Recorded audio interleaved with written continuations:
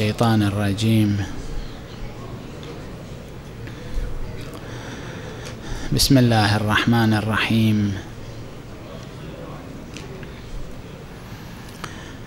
الحمد لله رب العالمين.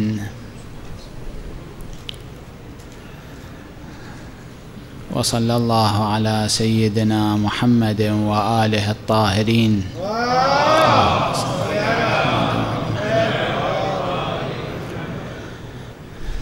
ولعنة الله على أعدائهم أجمعين إلى يوم الدين.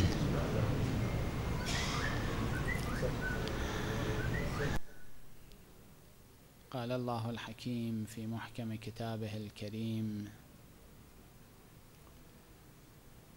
بسم الله الرحمن الرحيم.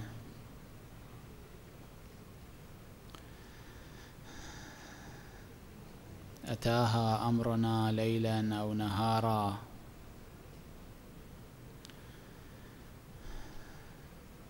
فجعلناها حصيدا كأن لم تغن بالأمس. صدق الله العلي العظيم.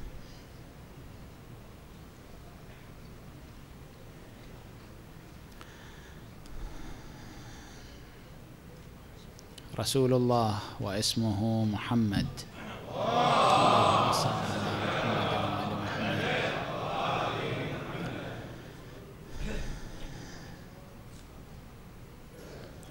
من بعده أمير المؤمنين واسمه علي.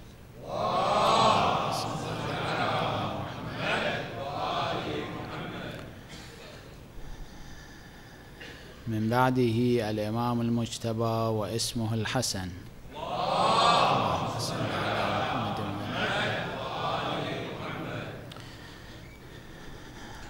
هذه الأسماء الثلاثة المباركة المتتالية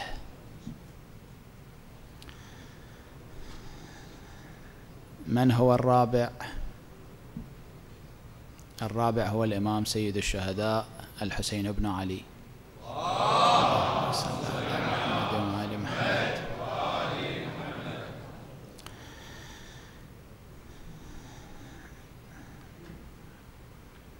الأسماء الثلاثة المباركة المتتالية. بنفس هذه الطريقة والتتابع تكررت مرة أخرى في أهل البيت. صلوات الله وسلامه عليهم. فجاء الإمام أبو جعفر الثاني الإمام الجواد واسمه محمد. اللهم صل على محمد من بعده جاء الإمام أبو الحسن الهادي واسمه علي اللهم صل على محمد من بعده جاء الإمام أبو محمد الحسن بن علي العسكري اسمه الحسن. اللهم صل على محمد وآل محمد. فمن الرابع؟ الرابع هو الإمام مهدي آل محمد صلوات الله عليه. اللهم صل على محمد وآل محمد.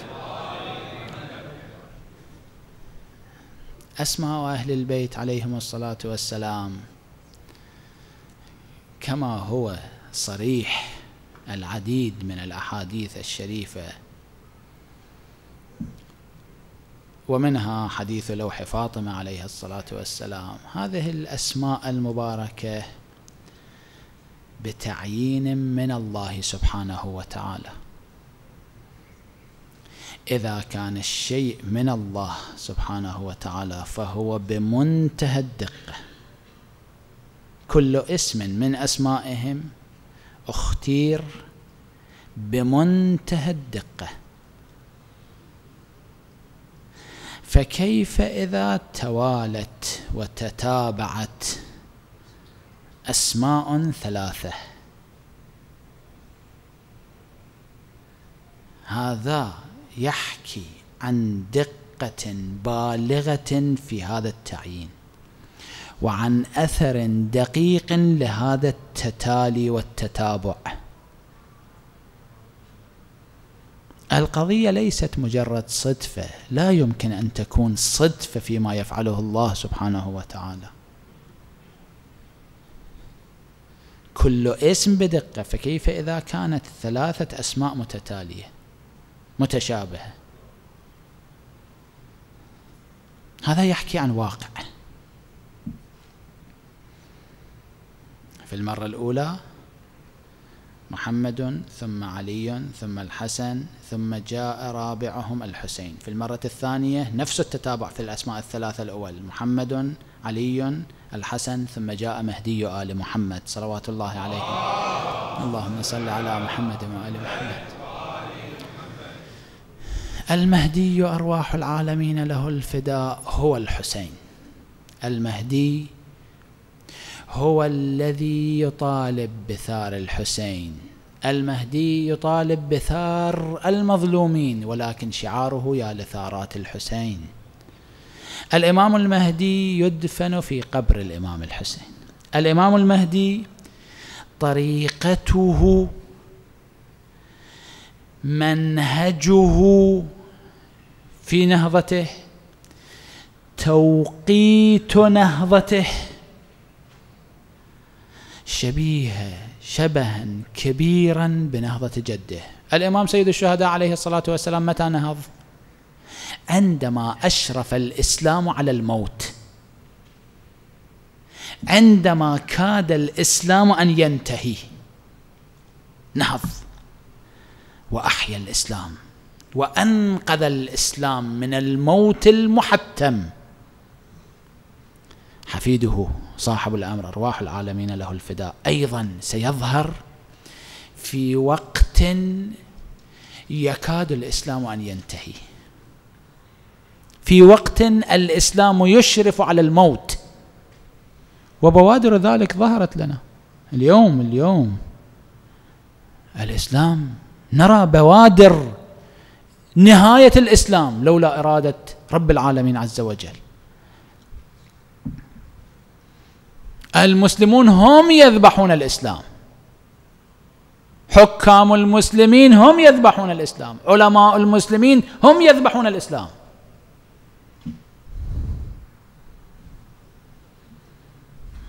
طبعا كثير منهم لا أقول كل المسلمين. الإسلام في حافة النهاية في مزلق بالمقدار الذي نرى مع قطع النظر عن الجانب الغيبي الذي لا نراه ونعلم به. لإخبار رسول الله وأهل البيت عليهم الصلاة والسلام أن الإسلام سوف لا ينتهي. لولا ذلك نرى أن الإسلام أوشك على الانتهاء. وسيكون حسب الروايات الشريفة إلى الأسوأ وإلى الأسوأ. لا يبقى من الإسلام إلا اسمه. فيأتي منقذ الإسلام مرة ثانية كما أنقذ جده الإسلام مرة في المرة الأولى. ويأتي كما يرى الناس بدين جديد. الناس يرون لا الإسلام الذي يعرفونه شيء آخر. يأتي بإسلام جده. صلى الله عليه وآله. الإسلام الحقيقي. أصحابه صلوات الله وسلامه عليه كأصحاب جده سيد الشهداء. أصحاب رسول الله صلى الله عليه وآله كان فيهم المنافقون بصريح القرآن الكريم. ومن أهل المدينة مردوا على النفاق. أصحاب رسول الله صلى الله عليه وآله. كم مرة خالفوا رسول الله صلى الله عليه وآله؟ خالفوا أوامره ونواهيه. مئات المرات آلاف المرات أكثر بكثير. التاريخ المقدار الذي سجله التاريخ لنا هو بالمئات. الواقع أضعاف مضاعفة لذلك. عشرات الآلاف المرات أكثر. أصحاب رسول الله خالفوا رسول الله. أصحاب أمير المؤمنين كم مرة خالفوا إمام زمانهم؟ آلاف المرات أكثر. أصحاب الإمام الحسن كم مرة خالفوا إمام زمانهم؟ آلاف المرات لا أكثر بكثير. أصحاب الإمام زين العابدين عليه الصلاة والسلام كم مرة خالفوا إمام زمانهم؟ أصحاب الإمام الباقر عليه الصلاة والسلام كم مرة خالفوا إمام زمانهم؟ كلهم. لا أقول كلهم كلهم كعدد لا في كل زمن كان يوجد عدد من الحواريين ما خالفوا إمام زمانهم. في زمن النبي صلى الله عليه وآله أربعة في زمن أمير المؤمنين ثلاثة أو أربعة. في زمن الإمام المجتبى اثنان فقط. كان في كل زمن ولكن أما في النهضة التي قام بها سيد الشهداء وفي النهضة التي سيقوم بها حفيده صلوات الله وسلامه عليهما. في نهضة الإمام الحسين عليه الصلاة والسلام أصحابه في يوم عاشوراء ذلك اليوم الصعب ذلك اليوم الأصعب على الإطلاق. ما خالفوا إمام زمانهم مرة واحدة. سلام الله عليهم. وأصحاب حفيده كأصحابه. لا يخالفون إمام زمانهم ولا مرة واحدة. في حديث عن الإمام أبي عبد الله الصادق عليه الصلاة والسلام الإمام يقول هم أطوع له من الأمة لسيدها. أظن قبل سنوات شرحت لكم بعض الشرح هذه الكلمة. كم هذا المثال رائع. أظهر مثال للإطاعة. البشر لا يعرف مثال لشخص من البشر يطيع شخص من البشر يطيع شخصا من البشر. أعظم من هذا المثال. مثال إطاعة الأمل لسيدها. أعظم من هذا المثال لا يوجد. الإمام الصادق عليه الصلاة والسلام بالنسبة إلى أصحاب حفيده صاحب الأمر أرواح العالمين له الفداء يقول هم أطوع له من الأمة لسيدها. هكذا أطاع إطاعة مطلقة مطلقة. الإمام المهدي هو الإمام الحسين. الرابع بعد تلك الأسماء الثلاثة. أنا لا أقول الرابع بعد تلك الأسماء الثلاثة هذا وارد في الروايات الشريفة. عن الإمام الصادق عليه الصلاة والسلام أنه إذا تتالت هذه الأسماء الثلاثة فبعد ذلك يأتي الإمام. في أهل البيت عليهم الصلاة والسلام. وقد تتابعت وقد جاء الإمام. أرواح العالمين له الفداء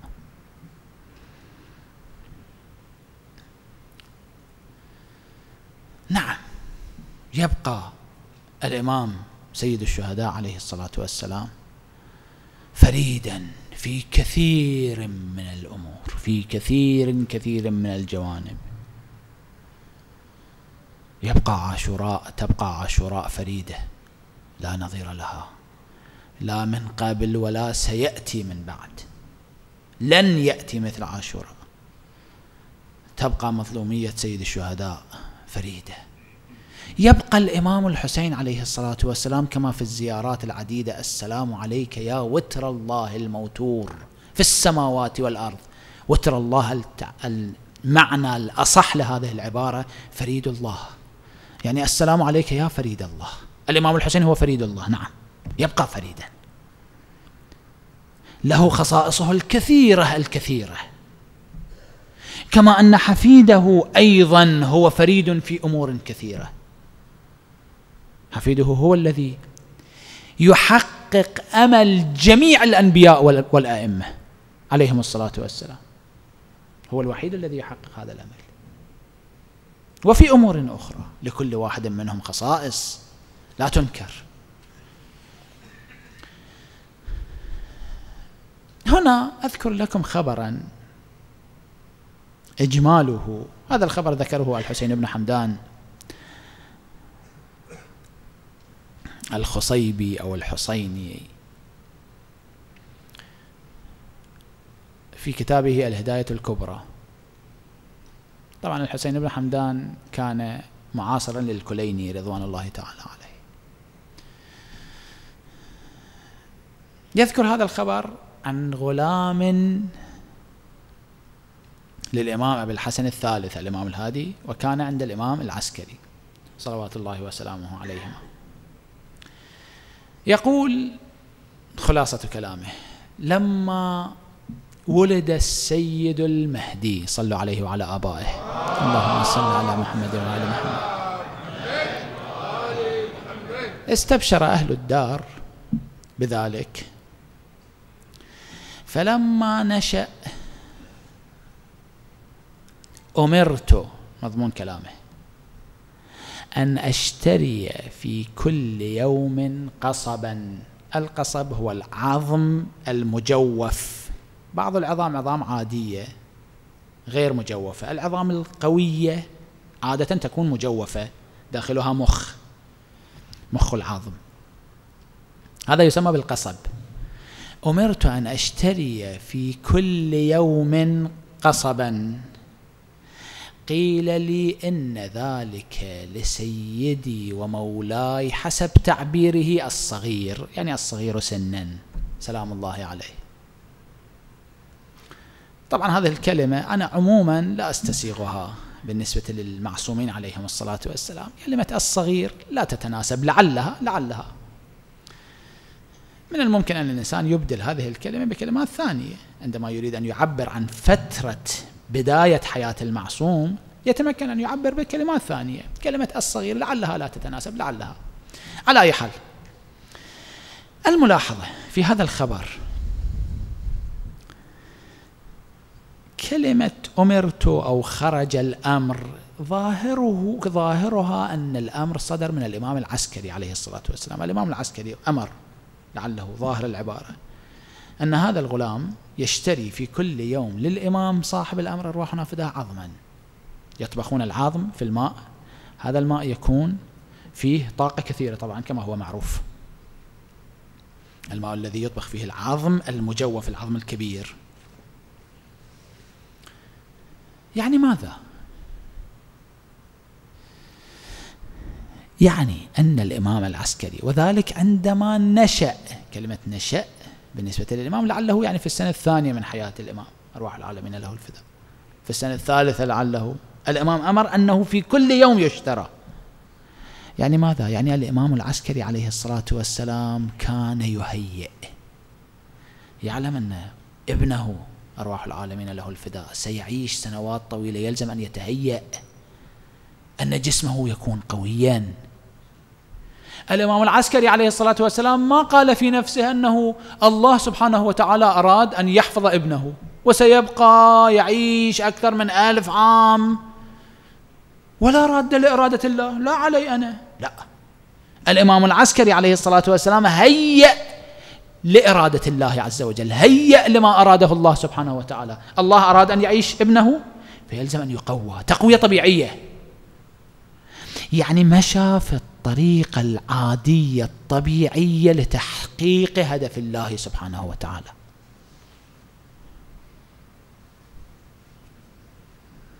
وهذا الشيء في حياة المعصومين عليهم الصلاة والسلام كثير. في حياة الإمام صاحب الأمر أرواح العالمين له الفداء كثير. إذا كانت هناك إرادة لله عز وجل أنا لا أترك الأمر. الله أراد خلص لا الله أراد أنا أسعى في تحقيق ما أراده الله. سبحانه وتعالى. إحدى مشاكل بعض المؤمنين يؤسفني أن أقول إحدى مشاكل كثير من المؤمنين. إن شاء الله ليسوا هم الأكثر ولكن كثير عددهم كبير. أنهم جالسون ينتظرون أمر الله سبحانه وتعالى.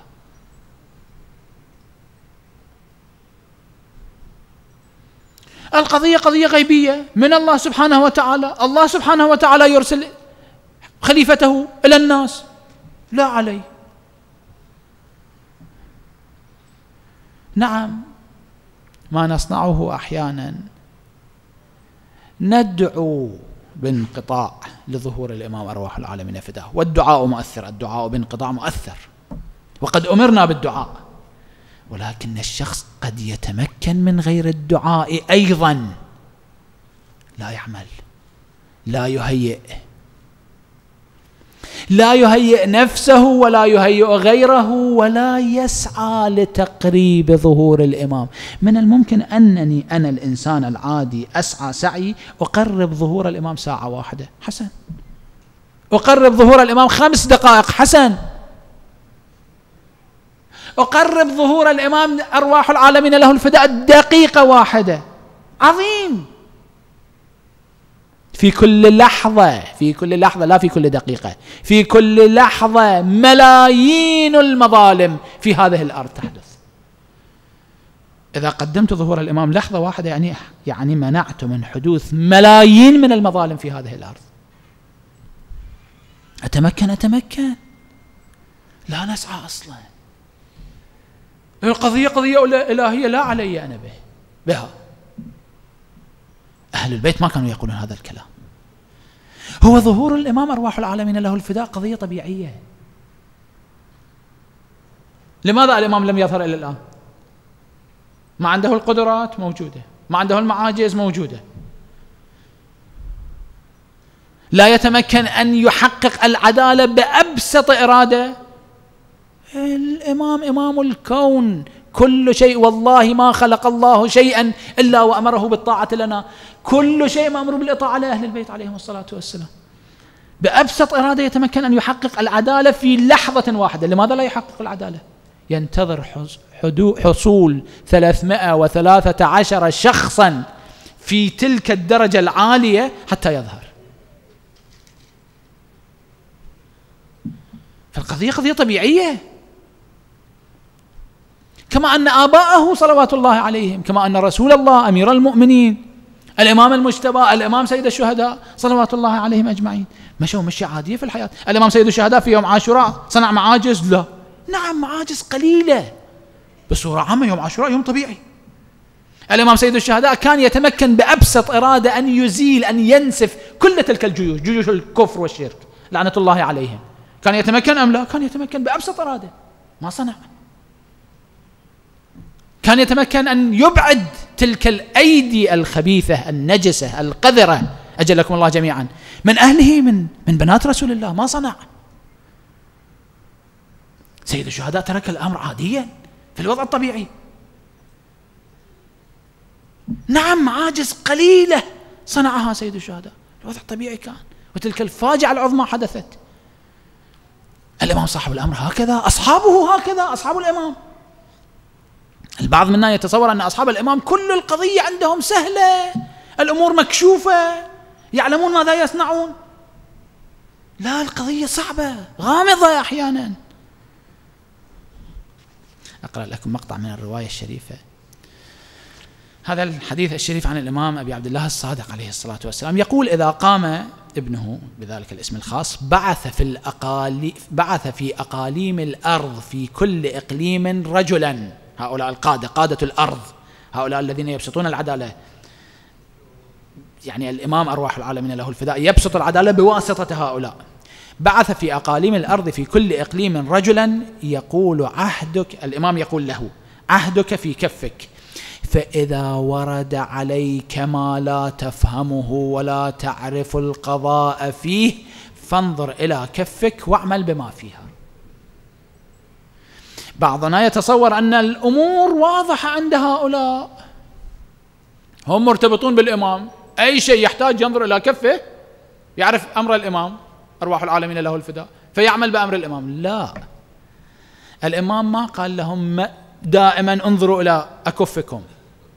الإمام يقول له لهذا الرجل الذي يجعله في تلك البقعة في تلك المنطقة يقول له فإذا ورد عليك ما لا تفهمه ولا تعرف القضاء فيه أصحاب الإمام فقهاء علماء يعرفون الأحاديث الشريفة لأهل البيت.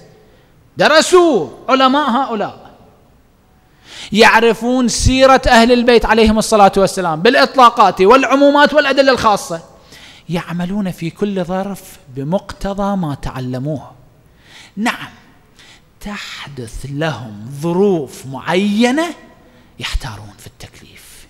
عند ذلك ينظر أحدهم إلى كفه فيرى أمر الإمام. فإذا ورد عليك ما لا تفهمه ولا تعرف القضاء فيه إذا ورد هكذا شيء احترت هناك حل. انظر إلى كفك. أمري يأتي إلى كفك. تنظر إلى كفك. فانظر إلى كفك واعمل بما فيها. القضية قضية طبيعية. يحكمون بصورة طبيعية. بالذي تعلموه من سيرة أهل البيت من روايات أهل البيت عليهم الصلاة والسلام. نعم أحيانا تكون معاجز. حالات استثنائية. كل شيء طبيعي. نحن نتوقع أن لا القضية تتهيأ من مكان ثان. نحن نحضر بارد مبرد سهل يسر. قضية صعبة. يلزم أن يتهيأ الإنسان. للأسف كثير من المؤمنين لا يتهيئون لا يتهيئون ولا يهيئون أصلا ولا يساهمون أصلا. إلا بالدعاء. الدعاء شيء حسن طبعا.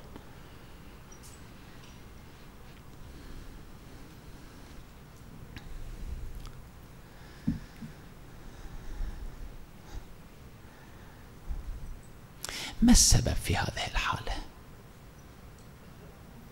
كلمة واحدة وهي كلمة سيئة جدا اليأس.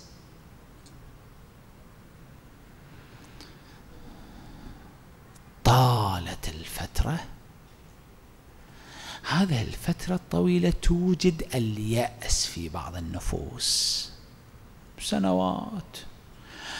آباؤنا أجدادنا آباؤهم. سنوات طويلة عاشوا بالانتظار. ما حصل الظهور. هذه الحالة توجد اليأس في بعض النفوس. أنا أيضا سأموت قبل أن أرى تلك الطلعة البهية. أبنائي أيضا سيموتون قبل أن يروا تلك الطلعة البهية. هكذا تصور. فلماذا أعمل؟ الإمام العسكري عليه الصلاة والسلام ما كان يعلم أنه سيستشهد قبل الظهور كان يعلم ولكن مهد. مهد الإمام العسكري. ما مهد؟ مهد. وهو يعلم أن ال... وقد أخبروا أهل البيت ليس فقط يعلمون أخبروا المؤمنين أن غيبة الإمام ستطول. كانوا يعلمون ولكن مهدوا. أنا أرى أو لا أرى؟ هذا شيء آخر. لنفرض أنني علمت علم اليقين أنني لا أكون في زمن الظهور. فليكن. أنا علي أن أؤدي واجبي أن أمهد لتعجيل فرج الإمام ولو ثانية واحدة. ولو ساعة واحدة. ثانيا من أين تعلم أنك لا تحضر في ذلك الزمان أحد كبار مراجع التقليد عنده كلمة جدا جميلة. وهي واقعية. يقول بعض المؤمنين سيحضرون في ذلك الزمن لا شك في زمن الظهور. وبعض المؤمنين سيكونون في وقت حكم أهل البيت عليهم الصلاة والسلام في الظهور وبعد الظهور. في يوم من الأيام سيكون الظهور. نأمل أن يكون هذا اليوم. نأمل أن يكون في هذا العصر. هؤلاء المؤمنون الذين يحضرون في زمن الإمام أرواح العالمين فداه في زمن في زمن الظهور مؤمنون عاديون بعضهم. غير الأصحاب الخلص بقية الناس مؤمنون عاديون. لماذا لا أكون أنا؟ لعلي. لعل الله سبحانه وتعالى. تفضل علي أن أكون أنا ممن يحضر في ذلك الزمن. من أين تعلم أنك لا تحضر؟ أمس ما كان الظهور اليوم يكون الظهور إن شاء الله. يوم ما صار الظهور غدا يكون الظهور. بعض الناس سيحضرون. نأمل أن نكون نحن. لماذا هذا اليأس؟ من قال لك أنك غير موجود في ذلك الزمن؟ طالت الفترة فلتكن. وقد طالت الفترة بين عيسى ابن مريم بين صعوده وظهور خاتم الأنبياء صلى الله عليه وآله. صلوا عليه وآله. اللهم صل على محمد. طالت الفترة مئات السنوات. البعض بالفعل حصل له اليأس ولكن الرسول صلى الله عليه وآله جاء. حفيده أيضا سيأتي. اليوم يأتي إن شاء الله. اليوم اليوم اليوم يوم الجمعة اليوم. هذه الجمعة الثامن من شب من شعبان 1438 لماذا نقول لا؟ من أين نعلم أنه لا؟ ما صار غدا ما صار بعد غد. سيصلح الله أمره في ليلة. الناس يرون أن القضية حدثت فجائية. من دون تمهيد. لا يحتاج تمهيد.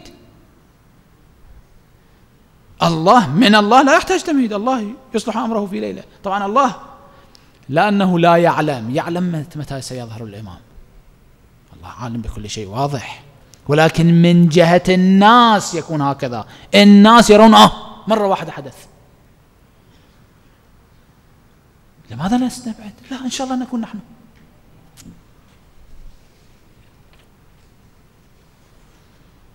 لا نكون من الأصحاب الخلص.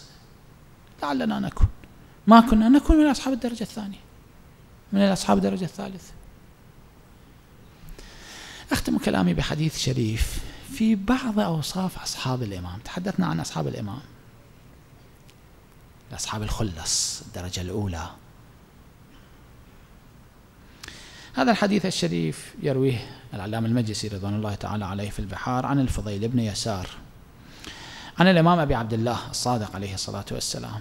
في وصف أصحاب الإمام صاحب الأمر الروح العالمين له الفداء يقول رجال أصحاب الإمام هكذا رجال كأن قلوبهم زبر الحديد. لا يشوبها شك في ذات الله. أشد من الحجر. في القوة قلوبهم أشد من الحجر. لو حملوا العبارة عجيبة هذه لو حملوا على الجبال لأزالوها. من همتهم لا أعلم. لعله لعله المقصود من هذه العبارة أن لهم همة لا يعرفون شيء اسمه لا. إمامهم يريد منهم شيئا خلص لو أمروا أن يزيلوا جبالا لأزالوها. كيف يصنعون لا أعلم. يحققون.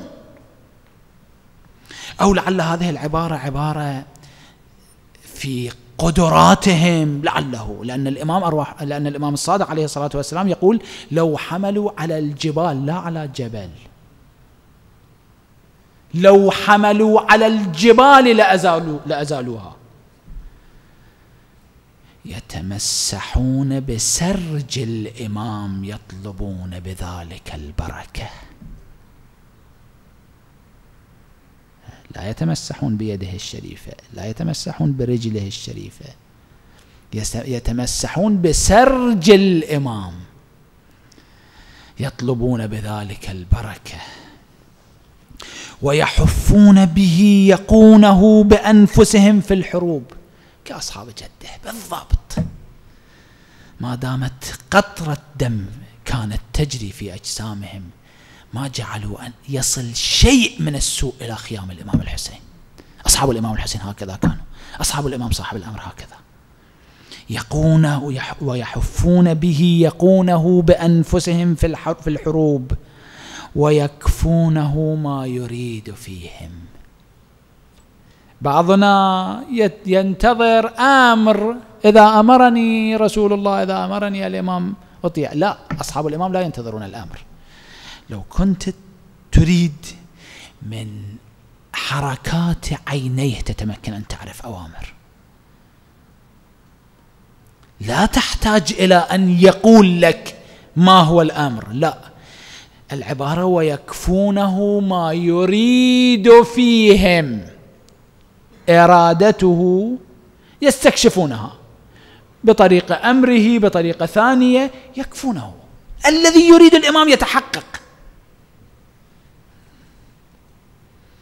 رجال لا ينامون الليل لهم دوي في صلاتهم كدوي النحل. عباد يبيتون قياما على أطرافهم في الليل. ويصبحون على خيولهم. رهبان بالليل ليوث بالنهار. الراهب مظهر الضعف لأن الراهب يقف أمام الله سبحانه وتعالى. الإنسان مهما كان عظيما مهما كان قويا أمام الله صفر ضعيف ذليل. في الليل تراهم هؤلاء رهبان ضعاف أذلاء أمام الله عز وجل. في النهار أمام العدو. ليوث. رهبان بالليل ليوث بالنهار. هم هذه العبارة التي نقلتها لكم هم أطوع له لإمامهم من الأمة لسيدها. كالمصابيح كأن قلوبهم القناديل. في القوة قلوبهم كزبر الحديد.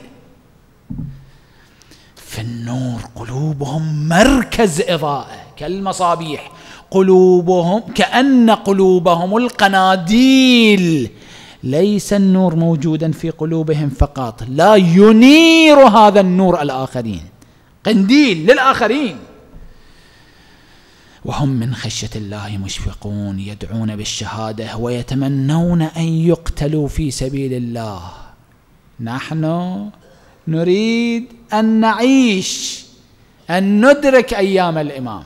أيام حكم الإمام. أصحاب الإمام يريدون أن يستشهدوا بين يدي الإمام. لا قيمة لأنفسهم عند أنفسهم. الإمام. أنا لا شيء. أنا أريد أن أستشهد. هكذا يريدون. ويتمنون أن يقتلوا في سبيل الله. شعارهم يا لثارات الحسين.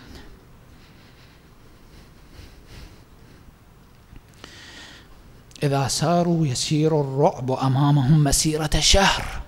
أقوياء أبطال. يمشون إلى المولى إرسالا. هذه الصفة الأخيرة. وما أعظمها حقا لو, لو لم تكن إلا هذه الكلمة في وصف أصحاب الإمام لكفتهم. بهم ينصر الله إمام الحق. الله أكبر. الله ينصر إمام الحق. إمام الحق من هو؟ هو خليفة الله هو خليفة رسول الله في الأرض. ينصر إمام الحق بهؤلاء إمام الحق لا يحتاج إلى هؤلاء. إمام الحق عنده جبرائيل. أول من يبايعه جبرائيل لا يحتاج إلى هؤلاء. إمام الحق عنده أعظم من جبرائيل عنده الله سبحانه وتعالى. ولكن القضية قضية طبيعية. يلزم أن تكون هناك أوضاع طبيعية ظروف طبيعية. كيف ينصر الله عز وجل إمام الحق؟ بهؤلاء. هذه الكلمة تكفيهم. بهم ينصر الله إمام الحق.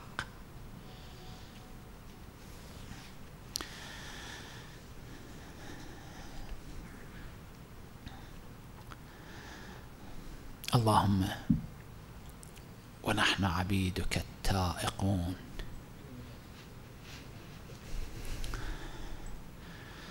الشائقون إلى وليك المذكر بك وبنبيك. خلقته لنا عصمة وملاذا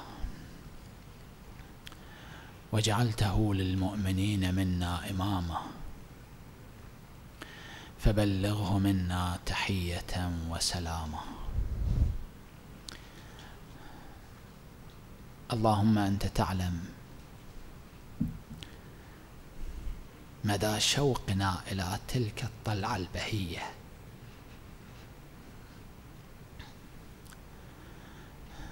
إلهي لا لأجلنا لأجله عجل له الفرج. إلهي لا لأجلنا لأجل انتظار آبائه الطاهرين له عجل له الفرج. لأجل انتظار سيد الشهداء أبيه. لأجل انتظار فاطمة الزهراء أمه. لأجل انتظار سيدة النساء أمه. عجل له الفرج. اللهم يا رب الحجة. بحق الحجة. اشف صدر الحجة. بظهور الحجة. اللهم أعطه في نفسه وذريته وشيعته ورعيته وخاصته وعامته. وعدوه وجميع أهل الدنيا. أعطه ما تقر به عينه وتسر به نفسه وبلغه أفضل ما أمله في الدنيا والآخرة. إنك على كل شيء قدير. والحمد لله رب العالمين. وصلى الله على سادة الخلق محمد وآله الطاهرين.